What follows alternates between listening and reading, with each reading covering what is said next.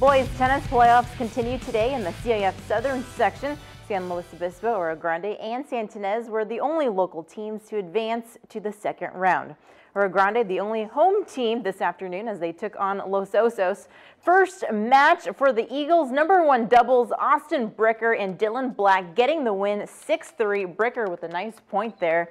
And number two doubles, it's the Arroyo Grande pair of Joey Coleman and Isaiah Sabecki winning their match 6-2. The Eagles picking up an ace to clinch it. And in the number two singles, Sam Ashbrook defeats Jonathan McMillan in their first matchup 6-2. Ashbrook closing it out with a nice backhand, Arroyo Grande is moving on as they win 12-6.